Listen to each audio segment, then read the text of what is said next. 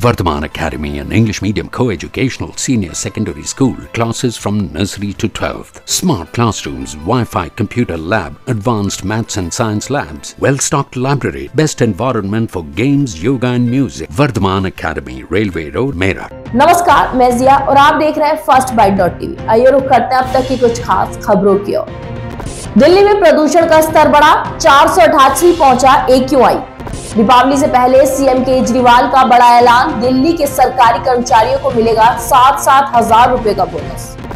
अकेले कोहली के बराबर रन भी नहीं बना सकी पूरी अफ्रीकी टीम। पंजाब में सिर्फ़ रविवार को 3,230 जगहों पर जली पराली। इसराइल का मास्टर प्लान गाजा को कर देगा तबाह। आईडीएफ का दावा दो हिस्सों में बांट दिया शहर। अब खबरें विस्तार से। देश की राजधानी दिल्ली में सांस लेना मुश्किल होता जा रहा है। यहाँ की हवा जहरीली होती जा रही है। केंद्रीय प्रदूषण नियंत्रण बोर्ड सीपीसीबी के अनुसार दिल्ली में एयर क्वालिटी गंभीर श्रेणी में बनी हुई।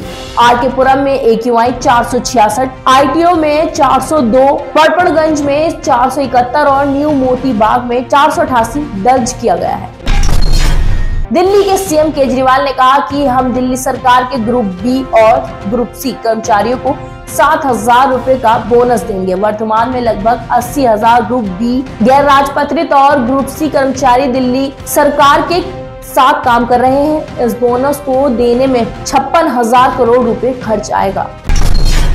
वर्ल्ड कप 2023 में भारतीय टीम ने रविवार को साउथ अफ्रीका के खिलाफ कोलकाता मैच में दो रनों से जीत दर्ज की। वनडे क्रिकेट में अफ्रीकी टीम की किसी भी देश के खिलाफ रनों के लिहाज से अपनी यह सबसे बड़ी हार है। मैच में कोहली ने भी अपना उनचासवा वनडे शतक लगाकर सचिन तेंदुलकर की बराबरी कर ली है। भारतीय टीम ने वर्ल्ड कप 2023 में अपना आठवां मुकाबला रविवार 5 नवंबर को साउथ अफ्रीका के खिलाफ खेला जो दो रनों से जीत लिया। तीन सौ सत्ताइस रनों के टारगेट के जवाब में साउथ अफ्रीका की पूरी टीम तिरासी रनों पर सिमट गई। पंजाब में इस सीज़न में अब तक 17,403 पराली जलाने के मामले सामने आए हैं। इनमें से कल अठहत्तर दशमलव पच्चीस प्रतिशत यानी 13,617 मामले पिछले आठ दिनों में ही सामने आए हैं। पाँच नवंबर को इस सीज़न में एक ही दिन में रिकॉर्ड 3,230 घटनाएँ दर्ज की गई हैं।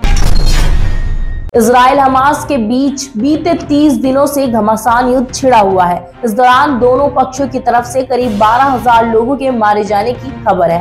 हालाँकि इस युद्ध में अब तक फिलिस्तीन को काफ़ी नुकसान का सामना करना पड़ रहा है।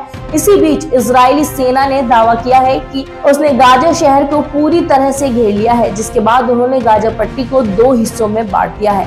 इसराइली सेना के प्रवक्ता डैनियल हगारी ने रविवार 5 नवंबर को संवाददाताओं से कहा कि आज गाजा नॉर्थ, गाजा और साउथ गाजा में बढ़ चुका है। अभी के लिए इतना ही। आप देखते रहिए फ़र्स्ट बाइट डॉट टीवी।